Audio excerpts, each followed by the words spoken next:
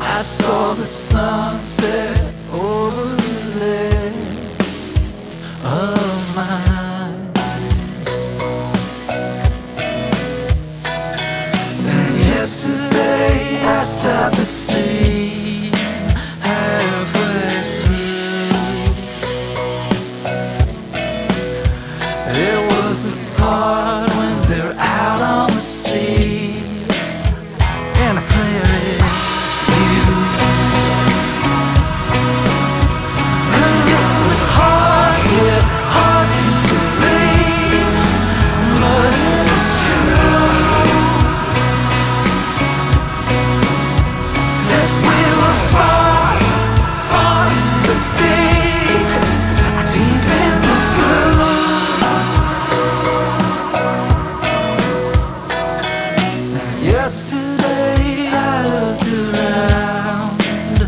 Yeah.